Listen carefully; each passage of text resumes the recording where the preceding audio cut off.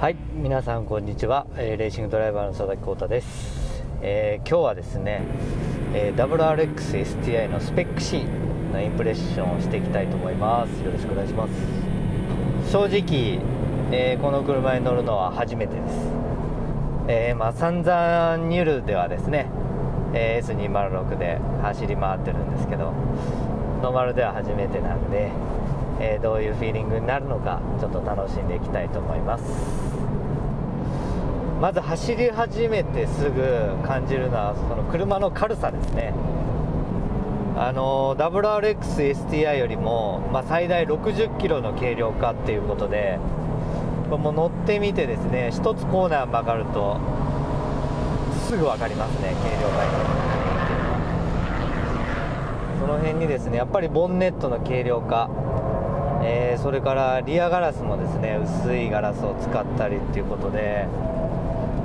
特にこう車の変なロール感っていうのがすごく減ってますね。それでしてこうターボの変更に加えて立ち上がりの鋭さがかなり増してますね。まずこのスペック C の、えー、と特筆すべき点で、えー、と3500回転からのこの加速。でこれがボールベアリングターボの加速なんですけどこのストレスなくぶわっといくこの加速がですねやっぱりすごいんですね。これがあの従来の普通のメタルターボですとワンテンポ遅れて多分4000回転ぐらいからの感じの加速になってしまうんですね。それがやっぱりボールベアリングターボです。特にこういうブレーキ踏んで少し回転が落ち気味でここからアクセルをここに踏んだ時のこの加速っていうのはやっぱりすごいですね。こういう加速のあの、まあ、加速自体がすごいのだとこのレスポンス。特にあのこういうショートサーキットですとか競技ベースで使う時はここにどうしてもアクセル踏んで戻して踏んで戻して踏んでっていう時が多くなんですけどそういう時のやっぱりレスポンスが全然違うのであのその時点だけでも車がすごく速く動く。それって実際のところあの性能的に何馬力違うとかトルクがどうのこうのっていう違いにあんまり出てこないんですけど乗ってて意のままに操れるというか自分がここでパワーが欲しいなという時に必然的に車が力を出してくれてそのレスポンスがすごくいいので、あのラリーベースでいうと皆さん知ってるかどうかわかんないですけどあのアンチラグというあのターボを回すアクセルオフの時こういう時にターボバーって回す機能があるんですけどそれがついてるのとついてないぐらい違うんですねこのメタルターボとボールベアリングターボというの。だからそのぐらい違うのでやっぱりこの踏み込んだ時の瞬間的にふわって前に出る感じというのがもう全然違うんですね。やっぱりここがねあのボールベアリングターボのいいとこだしやっぱりラリーとかそのこういうミニサーキット特にニュルみたいな前が見えないようなサーキットではすごく有効に活用できるといいますかその部分でものすごいアドバンテージがあるんですね。で実際あの初期の時のあの GRB この方の5枚ドアの GRB の時はそのメタルターボだけだったので本当にもう大変でアンチラグを強く効かせたりとかいろいろしたんですけどやっぱりどうしてもこのレスポンスがうまくいかなかったんですけどその辺がもうものすごく改善されててこれはですね一般の方が乗ってもすぐ分かる。違いのあの一番特筆するべきところかなという気がしますね。うん。あとはやっぱりこのリアウィングすごく効いてますね。高速コーナーに入る時の車の安定感。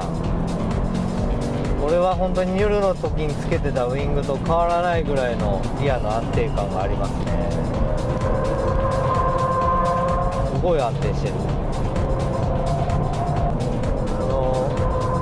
ぱり今回、えーブレンボキャリパーがついてます。それに対応するやっぱりボディ剛性それから足回りがないとやっぱり生きないと思うんですよね。それをすごくこうバランスよく生きてるなっていう感じがします。だから AWD なんかはやっぱりしっかり止めて早く立ち上がる。そういう意味ではこの車はブレンボキャリパーでしっかり止めて、えー車の軽量化した部分それから、えーターボの変更部分でしっかりこう加速できるっていうのはありますね。それとですねやっぱりこの車やっぱり軽いですよね車が。それなんで、えーブレーキを踏んだ時のその車のバランスここにフルブレーキした時にほとんどまっすぐ車がピタッとしながら止まる、まあ、この辺はですねあのスペック C の軽さもあるんですが A 型 B 型 C 型 D 型と今まで進化してきてる中であのー